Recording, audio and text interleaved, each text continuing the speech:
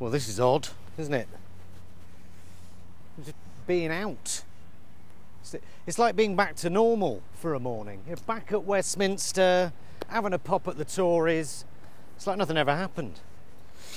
Dominic Cummings. Do Dominic Cummings' statement. Dominic Cummings.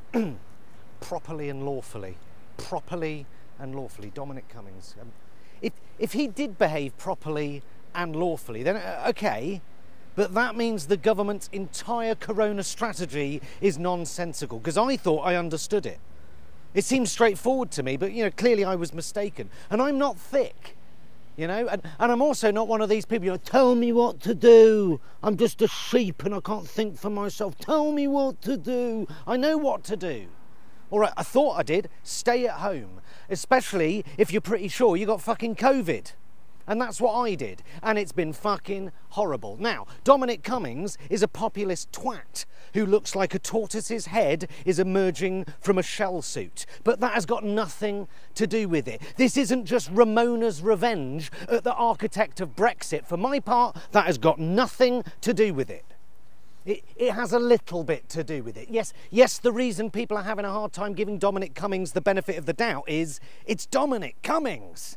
And yes, the British press, who aren't exactly known for their class, unable to contain their glee, they smelt blood and managed on more than one occasion to give Dominic Cummings the moral high ground. Dicks! So, Let's just allow Cummings this. He is a, a, human being, presumably, dealing with a highly unusual, unprecedented personal and professional situation. Okay, why no apology? Why no humility? Why no hint of a suggestion from anyone running the country that this confuses the issue, at least just a little bit? I'm not angry because this is the fucker that gave us Brexit and put Boris in number 10. I'm not actually that angry at what this prick actually did. I'm angry at the hypocrisy and the lack of humility in the government's response. I'm angry that should we get a second wave and we have to lock down again, this gives a lot of twats, a lot of reasons not to bother, because why the fuck should they? I'm angry at the way all the cabinet all rallied round with a pre-prepared, oven-ready tweet. It's perfectly reasonable to want to care for your own children. Really? Fuck you!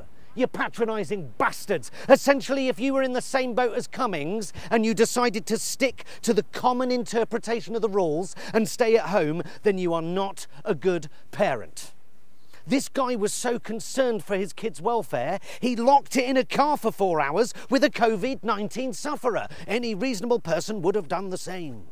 I'm angry that the government's advice appears to have changed from wash your hands to stay at home to check if you're going blind by operating heavy machinery on public roads, like some pisshead going, Well, I'm not sure if I'm safe to drive, but there's only one way to find out. Come on, kids. We're going for a drive. Any reasonable person would have done the same. I didn't. I haven't seen my son in nine weeks. I haven't seen my mother in three months. Although she wants a fucking Zoom conversation every three fucking minutes. People have missed funerals. They have died alone. Terminally ill people are spending what precious time they have left on their own. They have managed and yet Cummings, with his lovely townhouse and his 4x4 cuntmobile, he couldn't manage. So he had to drive to a cottage on his father's estate. Fine, because he cares about his children, as opposed to us lot who clearly don't give a fuck. Look at us all staying indoors, protecting the NHS, saving lives. Bullshit! We're all in it together. Bullshit! Clap the NHS, fuck off, fund the NHS. Still, it's nice to be outdoors, isn't it? Well, there's an odd atmosphere in Westminster today. Almost feels like everything's back to normal. The goodwill between the UK government and its citizens has been eroded. Many MPs from across the divide have privately discussed their